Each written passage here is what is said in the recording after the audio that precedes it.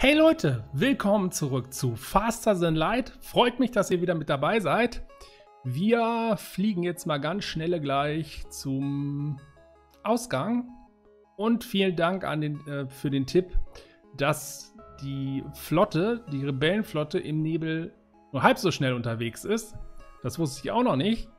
Gut, wir haben 69 Schrott. Ansonsten sieht das hier alles schon recht mager aus. Wir haben ja noch ein bisschen Spielraum und ich würde mal sagen, den nutzen wir auch gleich mal aus.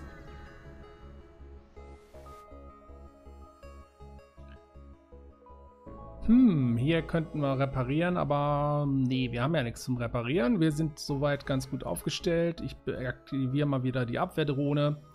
Und ich würde sagen, wir fliegen jetzt mal hier hin. Was gibt es denn hier Tolles? Gar nichts. Das ist natürlich super. Gut, dann fliegen wir jetzt dahin. Was gibt es denn hier? Eindringlinge an Bord. Oh, darauf hätte ich wirklich verzichten können. Soltana. Aufklärer. Das ist aber ganz schön... Ganz schön blöde. Äh, wir schießen mit einer Rakete auf die Schilde, genau. Die laufen gleich zum Antrieb.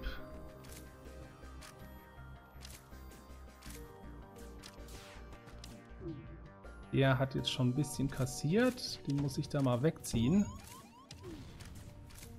Okay, die Schilder haben bei denen schon mal gelitten. Dann kriegen sie noch mal einen drauf.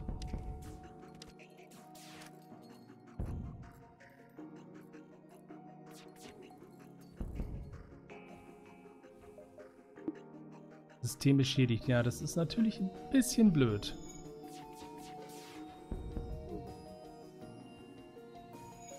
Die Drohne kümmert sich um die Sauerstoffversorgung. Wir haben jetzt schon ein bisschen kassiert, was in erster Linie daran lag, dass die Schilde down waren. Das ist halt nicht so cool. Ähm, hm, was machen wir? Wir schießen jetzt einfach mal auf die Waffensysteme, aber es sollte es sowieso gewesen sein. Das war es auch. Wunderbar. 47 Schrott, zwei Raketen, zwei Treibstoff. Das war doch mal ganz nett. Auch wenn uns das doch ein bisschen Hülle gekostet hat, was jetzt nicht so toll war. Drohne soll das erstmal, obwohl die zwei kann ich mal abziehen und dann da rein schicken, um zu reparieren. Naja, die Drohne war zuerst da. Gut, dann mal wieder zurück auf eure Position. Und wir gucken mal, wie sieht das denn hier aus?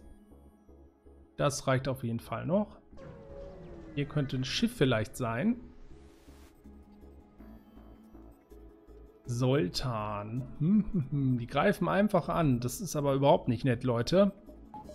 Abwehrdrohne aktivieren. Rakete auf die Schilde. Wobei auf der wie ist das denn bei den Schilden?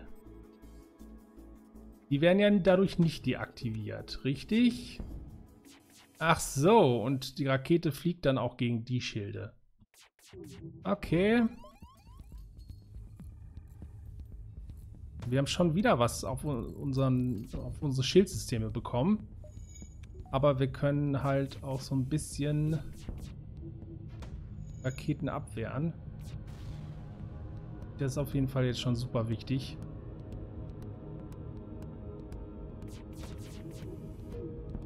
Ja gut, Rakete können wir nochmal nehmen für die Schilde. Und die geht vorbei. Ach, komm schon. Ist doch Mist. Nochmal auf die Schilde. Gut, das hat jetzt wenigstens mal gesessen. Und das geht wieder dran vorbei. Ah, was ist denn da los? Raketen haben wir jedenfalls noch genug. Die Rakete geht auch dran vorbei. Dann schießen wir jetzt mal auf die Brücke. Gut, da brennt schon mal. Das ist doch schon mal ganz nett. So, Rakete wieder auf die Schilde. Wenn das wieder aktivieren, sollten wir auch machen. Bam, das hat jetzt wehgetan. Gut, als nächstes dann nochmal auf die Brücke mit dem Laser. Und das war's dann auch schon. Gott sei Dank habe ich die Drohne. Das hätte, glaube ich, echt wehgetan. Aber so konnten wir uns nochmal ganz gut hier schlagen. Ich würde jetzt mal wirklich sagen, wir holen uns eine zweite Schildbarriere. Wenn wir genug dafür haben. Tatsache. Das ist doch schon mal super. So sind wir halt ein bisschen besser geschützt. Gut, dann geht's mal auf zum Ausgang. Die 41 Schrott werde ich auf jeden Fall behalten. Oh cool, ein paar Trümmer finden wir hier. Gibt ein bisschen Schrott. Drohnenteil. Alles klar, auf den nächsten Sektor. Jetzt ähm, haben wir nur die Auswahl zwischen Nebel und Nebel. Einen unbekannten Nebel oder den Snecko Heimatnebel. Ich glaube, es macht hier auch von der Ab von den abwechselnd, obwohl doch, Moment, wir fliegen hier durch den Snecko Heimatnebel. Dann haben wir nämlich Nee, das macht keinen Unterschied. Was rede ich da? Gut, nehmen wir mal den unbekannten Nebel. Mal gucken, was uns erwarten wird. Ja, Elektronik fällt aus. Das ist natürlich super. Ich würde sagen... Entschuldigung. Wir halten uns mal ein bisschen mittig. Dann sehen wir auch wieder, was da so in der Nähe drumherum liegt. Sieht man das eigentlich auch im Nebel? Fragen über Fragen. Ach komm, wir fliegen erst hier hin. Da hängen ja auch noch ein paar Systeme dran. Rebellenaufklärer. Der sich sogar tarnen kann. Gut, aber ansonsten ist das hier jetzt nicht so das Problem. Gut, die Waffen müssen erstmal laden. Der hat überhaupt keine Schilde, was ich ja super faszinierend finde. Das ging vorbei. Ich schieße mal mit Artemis auf die Waffensysteme. Trifft sogar. Das ist doch schon mal ganz nett. Dann aufs Cockpit. Sobald die wieder enttarnt sind.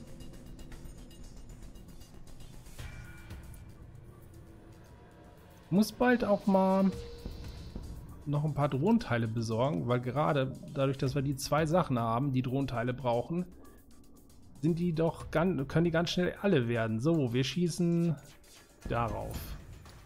Und dann sind die auch schon fast Geschichte. Rakete werde ich auf jeden Fall nicht nochmal benutzen. Ach, jetzt sind sie wieder getarnt. Und zögern das Ganze nur hinaus. Ihren eigenen Untergang zögern sie hinaus. Na komm schon. So, geht doch. Wunderbar. Ich habe jetzt kurz, oh, 52 Schrott sogar. Ich habe kurz überlegt, wir haben jetzt schon zwei Schildbarrieren. Ich würde fast mal sagen, dann könnten wir mal das so ein bisschen aufteilen zwischen Schildbarrieren und den Antrieb. Das ist vielleicht gar nicht mal so blöd. Ich würde sogar sagen, das würde nicht, ja, das reicht nicht, aber wir können zumindest einmal hier noch was reinpacken. So, diesmal habe ich es richtig gemacht und wir haben immer noch 50 Schrott, über 50 Schrott.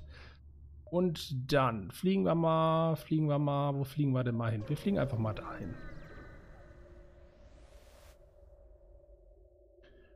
Ein automatisiertes Rebellenschiff liegt nahe einer kleinen Rebellenraumstation. Hat schon zwei Schilde. Hm, gut, aber wir greifen das mal an und kann sich sogar tarnen. Ja, ich sollte hier immer öfter drauf schauen. Ja, ich weiß, das habe ich schon mal gesagt, aber hey.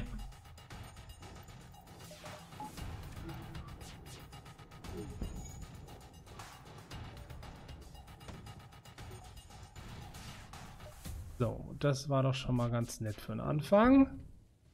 Haben wir auch noch mal getroffen.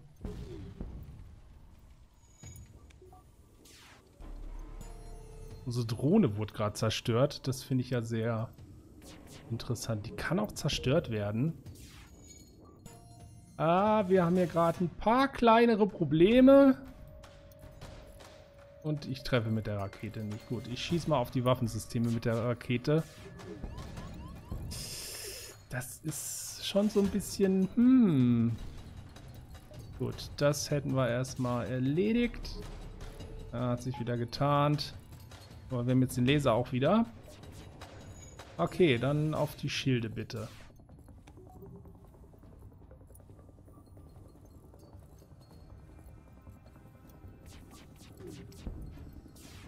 ein Treffer. Ist jetzt auch nicht so pralle. Ich glaube, bei diesen kleinen Schiffen, die ein bisschen wendiger sind, wo wir auch öfter verfehlen, muss ich halt wirklich auf das Cockpit schießen.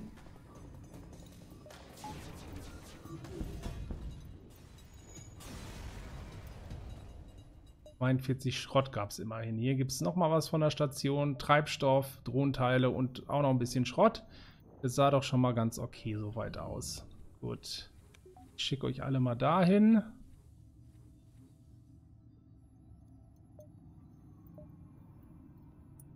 Könnt ihr mal zurücklaufen. Roper muss noch kurz auf die Krankenstation. Gut, der kann dann auch zurück und dann geht's mal weiter. Da hätten wir einen Shop. Der liegt da natürlich äußerst blöd. Ich glaube, ich springe erstmal möglichst weit hier nach rechts und da sind ja noch genug Systeme da oben. Muss jetzt nicht hier so zickzack springen, das können wir ja da auch noch machen. Dann würde ich nämlich sagen, springen wir da als nächstes hin.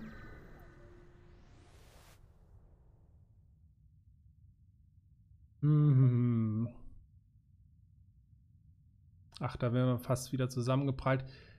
Ich glaube, wir verzichten jetzt mal auf Ärger, weil ich habe auch nur noch fünf Raketen. Da haben wir einen Shop. Gucken wir mal, was es hier Schönes gibt. Wir haben zwar nur knapp über 100 Schrott, aber mal gucken. Crew-Teleporter, Drohnenbergungsarm, Waffenvorzünder. Das ist ganz nett, können wir uns leider nicht leisten. Ladeverstärker jeden Fall mal alles reparieren. Was haben wir denn hier noch? Crew. Ja, nee. Also Drohnenbergungsarm. Nicht zerstörte Drohnen werden beim Springen eingesammelt, damit ihre Teile wiederverwertet werden. Das, ja gut, da muss man halt auf Schiffe mit Drohnen treffen, aber wie wahrscheinlich ist das? Würde lieber mal sagen, wir holen uns hier ein paar Raketen, ein paar Drohnenteile und dann noch so viel Stre Treibstoff wie geht. Dann haben wir noch 45 Schrott und das sollte doch erstmal ein bisschen wieder reichen. Raketen sind wir etwas knapp bemessen, aber Treibstoff sieht es auf jeden Fall super aus. Drohnenteile sollte auch noch gut reichen. Rebellenschiff in der Nähe. Flottenverfolgung verdoppelt für einen Sprung. Das ist natürlich ganz schön doof. Okay, dann geht's mal hier hin. Ich wollte das jetzt nicht angreifen, weil das zwei Schilder hatte. Aber wir müssen hier auch bald mal wieder ein bisschen kämpfen, weil sonst von nichts kommt nichts. Von nichts kommt nichts. Oh. Willis Frachter wir haben Felix Crewmitglied, machen wir das mal. Oh, 62 Schrott kriegen wir von denen. Holla! Aber gerne doch, so. Dann fliegen wir mal dahin, ist doch ein bisschen blöd. Ich war jetzt davon ausgegangen, dass man wirklich beliebig zwischen den Systemen hin und her springen kann, aber das ist da leider nicht der Fall. Gut, du willst was auf die Nase kriegen. Wir müssen hier den ganzen System mal wieder Energie geben glaube, ich nehme jetzt wirklich erstmal nur den Laser. Ansonsten warten wir dann mal. Ach, wo schieße ich denn drauf? Ich muss auf den Antrieb schießen. Immerhin getroffen.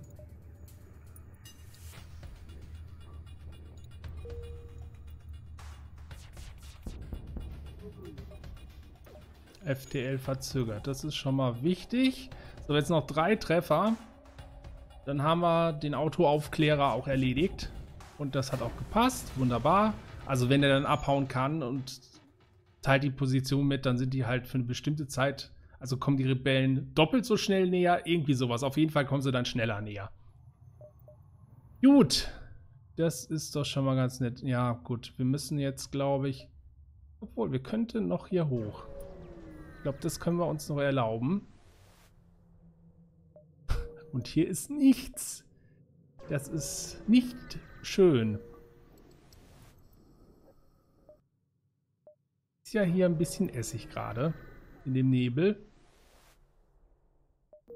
Gut, wir können jetzt auf jeden Fall ja abhauen. Das machen wir auch. Dann fliegen wir jetzt nämlich in den zivilen Sektor. Vielleicht kriegen wir hier noch ein bisschen Schrott. Ich würde fast sagen, wir gönnen uns hier noch ein bisschen mehr Ausweichen. Ach, Hammer-Shop. Ja, da hätte ich zuerst gucken sollen. Verdammter Mist. Fliegen wir erstmal dahin. Gut. KI-Bombe. Schnellfeuerlaser. Ist ganz schön teuer. 50 für Stufe 1. Ja, Finde ich jetzt nicht so toll. Ansonsten hier haben wir wieder Crew auf Seite 2. Ich würde mal sagen, davon brauchen wir was. Ganz schön teuer. Haben wir gar nichts mehr. Das ist aber gar nicht so toll. Dann mal hier runter als erstes. Dann können wir ja ein bisschen weiter wieder nach oben fliegen, dann Richtung Ausgang. Hier gibt es nichts. Da ist schon wieder ein Shop. Das ist ja mal... Was ist denn hier los? Jetzt, wo ich ihn nicht brauche. Automatischer Aufklärer. Der greift einen kleinen Treibstoffaußenposten an. Wir verteidigen den mal. Vielleicht fällt ja für uns dabei was ab. Gut, das kann sich mal wieder tarnen. Machen wir das mal an. So. Und einmal eine Artemis-Rakete auf die Schilde.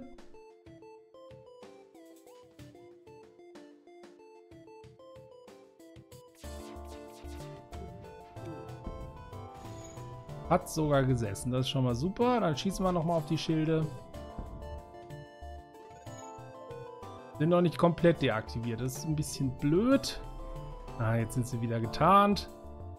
Aber ich finde es super, dass sich das hier von der Aufladerate nicht komplett zurücksetzt, wenn die sich wieder tarnen. Das wäre nämlich echt mies. Ich mache schon wieder, schon wieder das gleiche Problem hier. Schießen wir aufs Cockpit. Gut, das waren drei gute Treffer. Dann wieder auf die Schilde. Sobald der sich wieder enttarnt.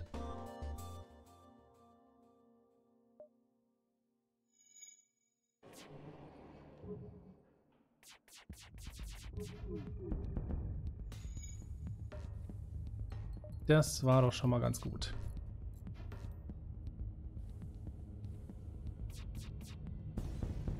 Wunderbar, erledigt. Wir haben ein bisschen Hülle verloren, aber das liegt alles noch im Rahmen.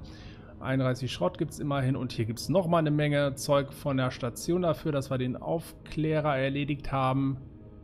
Da sind wir wieder bei 74 Schrott und gab noch ein bisschen Kleinkram dazu. Wir fliegen jetzt einfach mal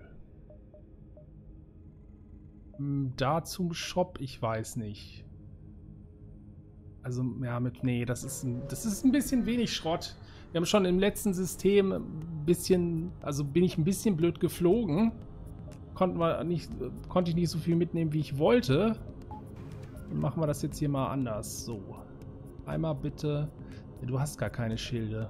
Dann schießen wir auf die Waffensysteme. Hat auf jeden Fall getroffen. So. Dann aufs Cockpit. Warum auch immer so eine Drohne ein Cockpit hat.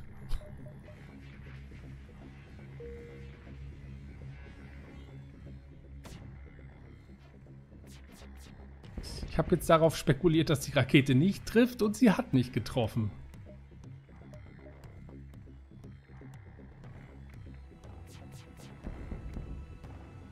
Das sieht doch gut aus.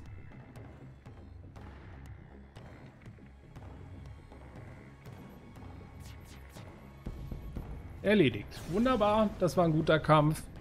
44 Schrott, das lohnt sich ja momentan hier richtig jeden Fall, ja, fliegen wir erstmal dahin. Das müsste dann immer noch passen. Notfalls kürzen wir dann da oben ab.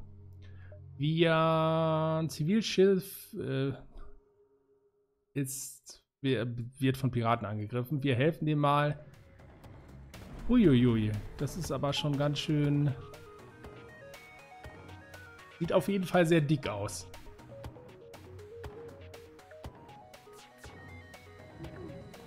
Können sogar schießen, wenn sie getarnt sind. Das ist mal... Das ist doch mal total unfair.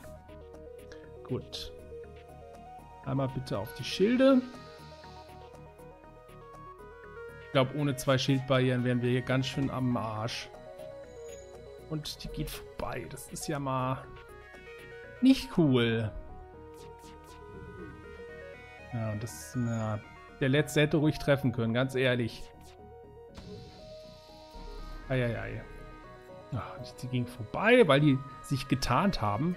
Ging die wirklich vorbei, weil die sich in dem Moment getarnt haben? Oder kann die auch treffen, während die unterwegs ist?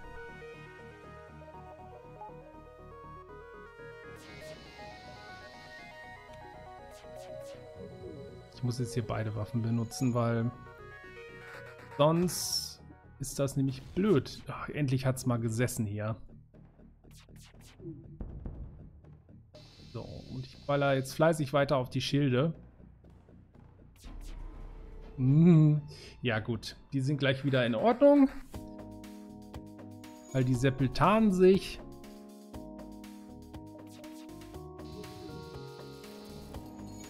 Das hat auf jeden Fall wehgetan. Das war jetzt nicht so dolle.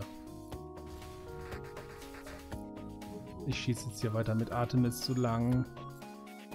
Auf den Waffensystemen nicht so viel Energie habe. Wir haben ja keine andere Waffe in dem Moment.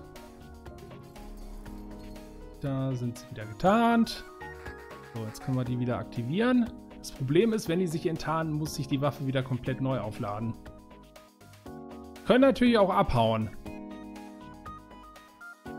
Aber ich will die jetzt hier unbedingt erledigen. Kann ja nicht sein.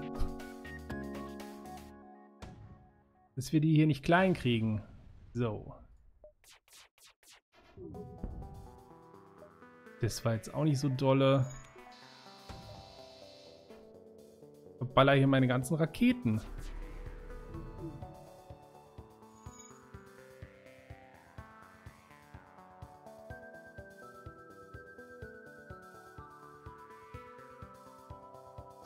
La la la la la. Okay. So. Dann machen wir das nochmal so und ich halte da jetzt mit beiden Sachen drauf. Die geht auch vorbei.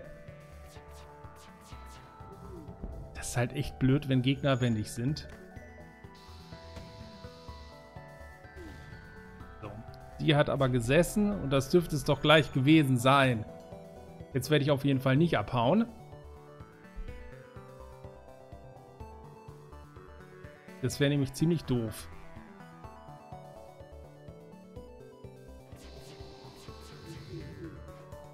Ah, fast.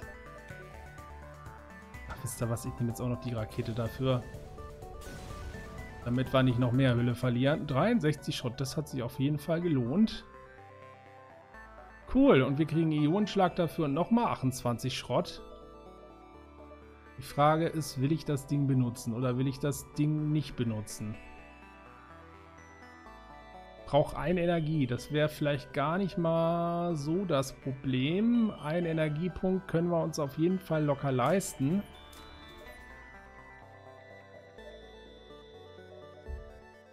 Machen wir das mal so. Dann können wir alle drei Waffen benutzen und damit können wir halt Systeme ausschalten. Alles klar, gut. Ich würde sagen, wir machen nächstes Mal weiter.